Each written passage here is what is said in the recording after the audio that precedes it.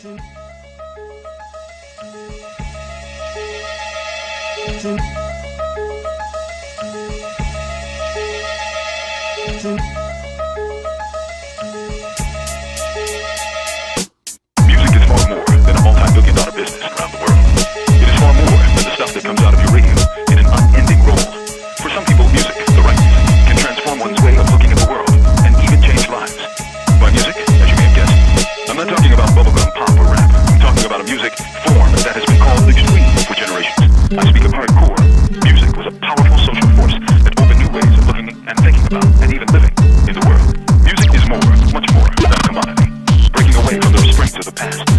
This power of music must be recaptured to become a resource for people who are still not free. Sometimes images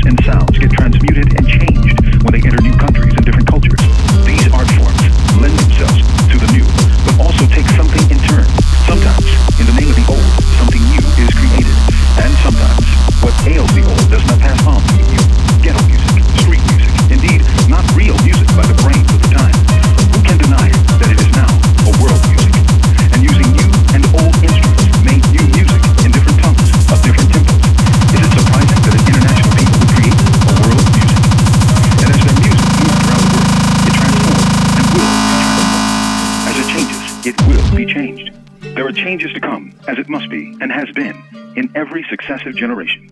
May they come quickly.